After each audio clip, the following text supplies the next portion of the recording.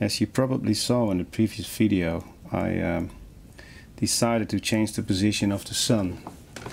Uh, I, I placed it lower, left to the house, and I changed the direction of the shadows as well.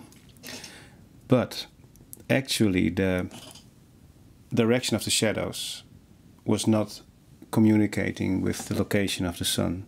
I didn't mind because for my composition it was okay and the sun was shining and the shadows were um, good.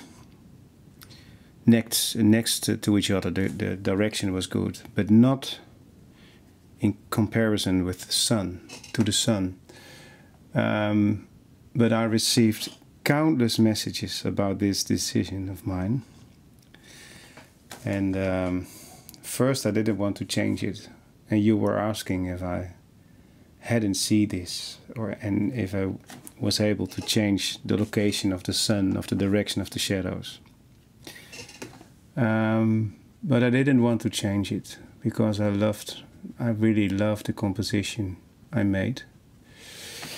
But yesterday, I received some messages again, and then something in me asked, Well, can you just give it a try?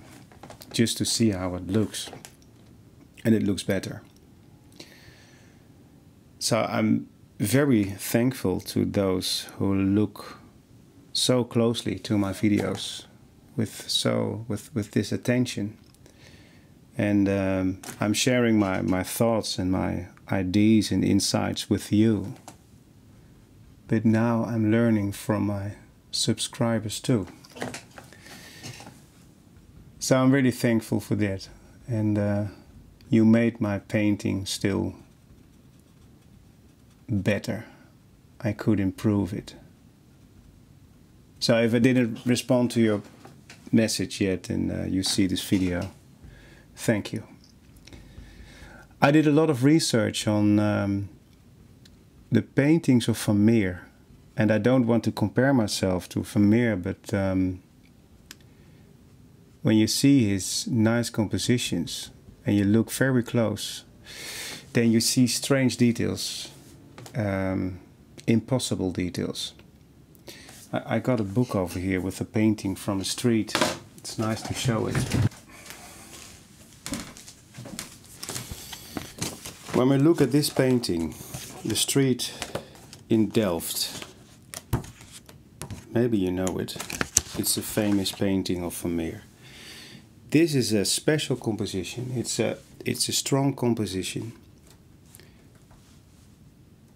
Um, but there is something physically totally wrong in this composition, and I can't believe it's a mistake because Vermeer was so clever. You see in his paintings how clever he was, and everything must have been a conscious choice. Look at the windows, those huge windows and those huge shutters in it. When you open this green shutter on the left side, the woman who wants to pass the entrance, through the entrance, she will bump her head. People are, who are living in this house and who want to walk through these entrance with luggage will really have a problem when this shutter is totally open. Um, Vermeer didn't mind. He played with these shutters with yellow, green and red colors like Piet Mondrian played in his abstract paintings later.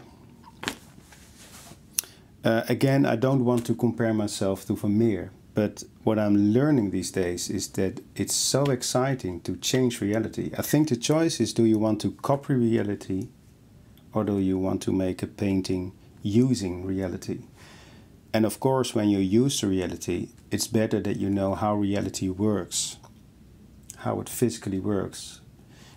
Um, I'm painting sun with shadows every day, so I know how it works. But sometimes uh, like in this painting, it's exciting to to try to change it. You know, I need the sun here, I need the shadows in this direction. It's physically wrong, but I want to do, do this because the shadows are more straight and the composition is more, well, peaceful and the sun is nice next to the house. I actually I, I didn't mind it was wrong, but but as I said yesterday, I gave it a try, and now these shadows are really dynamic, and the sun is even brighter than before. So I'm I'm all right with this.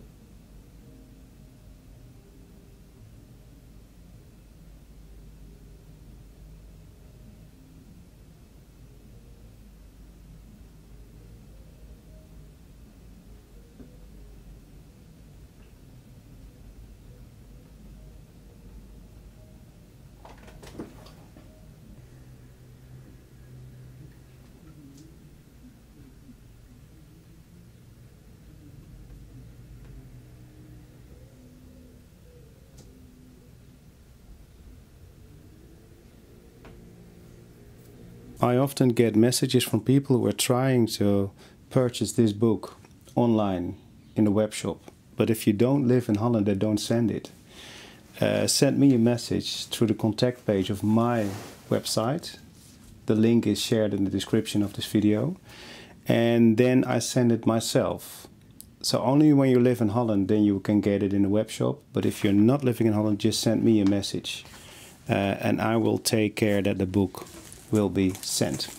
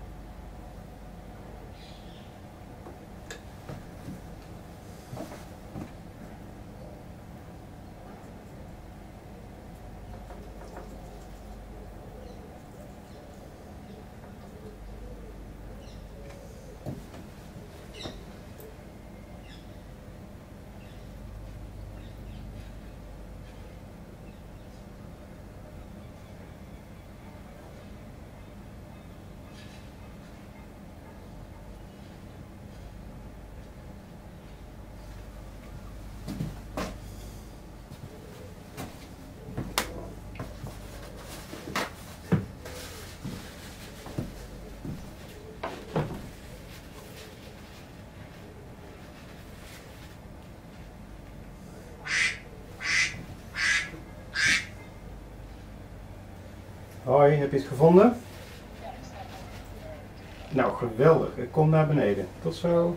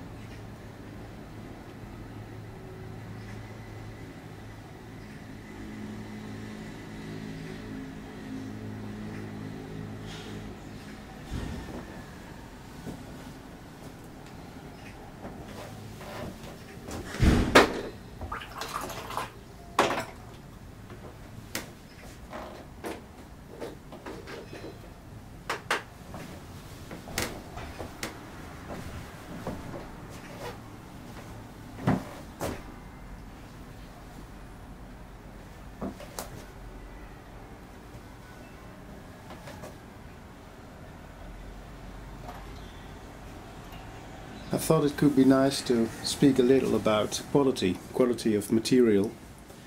Um, and the question rised up how important is quality of material? Uh, and I think it's not that important actually. I think the goal is that you find the material you need, and when it's a brush that takes uh, $200, it's fine. But when you find another brush and it takes $20 and maybe it's a better brush for you, brush for you I think that's the most important thing to discover. Uh, it's just how it feels. So uh, the best artworks are not made by the most expensive, the best quality material, of course. The most important is, of course, the, the creator, him or herself, uh, the moment, the abilities, the creativity. Um, the the first expensive tools I bought were brushes. So I started with these. I only started with two brushes, and later I became a vegetarian. So then I found out that these brushes are really well and even cheaper. Um, the second thing was paper. I started with cheap paper, but after a few years I found out that this paper is really, really good. And now I can't work on cheap paper anymore. That's uh, really a shame. And then later I found the better quality paint. That's funny because you should think that paint is the first thing that you need on the, on the, on the best quality, but it were the brushes for me. Yeah, and the reason why I buy always the best quality paint and the best quality paper is only because that gives gives me the feeling that I have some control because I'm working on paintings that I have to deliver in a few days and then I don't want to be surprised by certain effects that I didn't ex expect, you know. But um, I was working outside this weekend and I needed a lot of green because I was working on a sunny day in the park and I forgot my green. Um, and that's that's a very good thing to forget when you're in a park because then you have to make the greens yourself and then you start studying on the greens on another way than when you just take the green you need. Well, I had this one, uh, this one was left, maybe you remember that video where I started those two watercolor paintings for the office here in town uh, for the wallpaper and the table prints. And I started on this one the first day, and then after a day, I noticed that I uh, had to keep it on this way, oblong, and not in a standing format. But I kept it because I thought that the beginning was really good. So I want to finish it next week. I have to do some other paintings as well, but I think I can finish this one. And uh, the oil color painting, the small one, is uh, done. So it's time for weekend. Thank you for watching again and uh, thank you for your lovely comments. I read them all. And uh, have a nice weekend. See you next week.